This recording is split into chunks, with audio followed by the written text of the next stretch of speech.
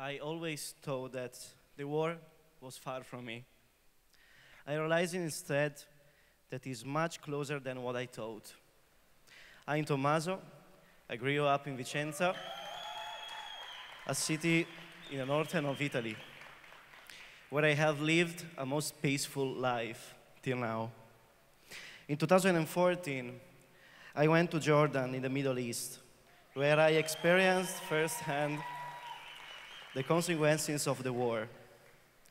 I visited the refugees camp and I, I, and I interact with people from Syria and Iraq who had to flee from their own countries to save their lives.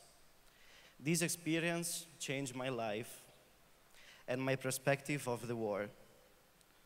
I felt inspired to go back to my country and create awareness about the nonsense of war. Together with a friend, which is Giovanni, that is also here, we started almost by a chance a project called Non dalla guerra. Our main goal is to, edu to educate people about the peace by showing them what war is and bringing war closer to the privileged people like me that have not experienced its atrocities. We tell our testimony regarding the reality we saw in the war-torn countries and how those conflicts are destroying societies, undermining people's hope, freedom, and possibility to build a better future. For us, it's not enough simply to participate in a reality when it's convenient, but rather to live it. The Genfest is not enough. Non dalla guerra is not enough. These are singular events. We must live peace, which is a need. The people are dying and suffering. I would like just to remind those people that nowadays are dying in Dara, which is a city in the south of Syria, mainly, that are bombing. I would like to remind them, and I would like to ask you to remind them now.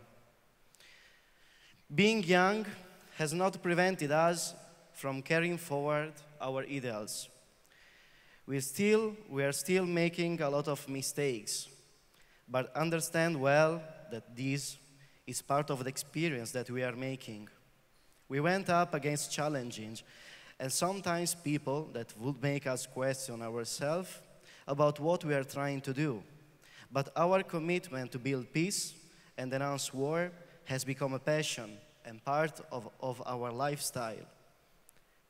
The most important thing is to respond with our own life by going out of our comfort zones to face the needs of humanity. I have realized that we, young people, can change the world.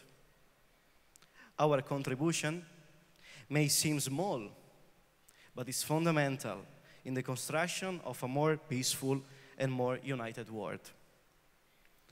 Thank you.